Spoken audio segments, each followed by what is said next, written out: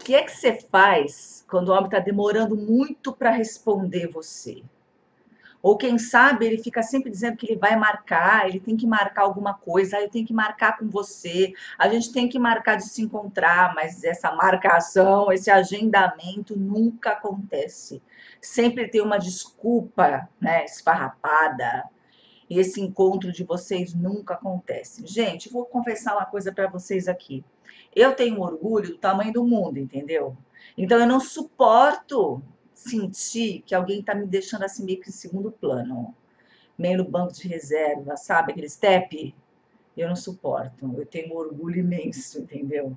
Então, assim, se, por exemplo, estou falando com alguém, e independente da situação, tá? Não precisa ser não necessariamente com relacionamento. Pode ser com qualquer pessoa. E você percebe que, que o cabra está te deixando esperando no WhatsApp, você responde alguma coisa para ele, ele demora um tempão para responder, mesmo que ele esteja online. Aí que dá mais ódio ainda.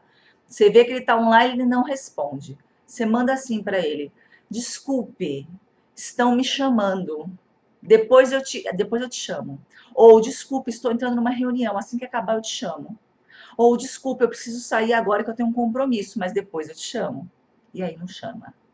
Deixa no vácuo. Entendeu? Faça isso.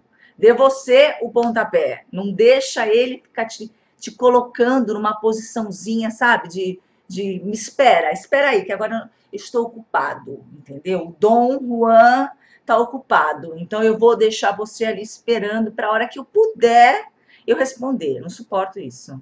Então, saia você primeiro, fala, olha, eu tenho um compromisso, agora depois eu te chamo. Olha, tem uma reunião, depois eu te chamo. Olha, estão me chamando, depois eu te chamo.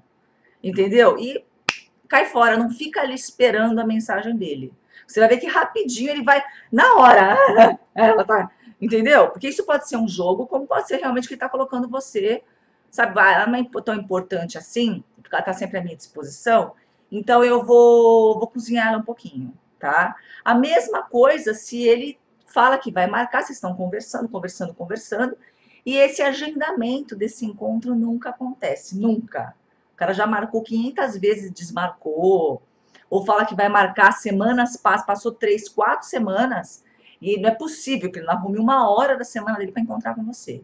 Aí você pode dizer: olha, você não me leva mal, mas eu preciso ser sincera com você. Eu ando assim numa fase da minha vida que eu estou muito ocupada. Eu estou com muita coisa ao mesmo tempo. Eu acho que eu não vou poder me dedicar a você, não vou poder dar a atenção que você merece. Então, eu acho melhor a gente deixar esse nosso encontro mais para frente. Entendeu? É claro, criatura, que você não vai fazer isso na primeira semana, tá? Vamos supor, passou umas três semanas, você viu que esse encontro não sai de jeito nenhum, cada hora ele inventa uma coisa diferente. Mas aí você fica sabendo que ele saiu com os amigos, ele foi viajar, ele foi para bar, ele foi para show, ele foi surfar, ele foi enfiar um sabugo no rabo, não sabemos. Mas ele arranja tempo para tudo, menos para encontrar com você. Aí você solta uma dessa, entendeu? Saia você por cima.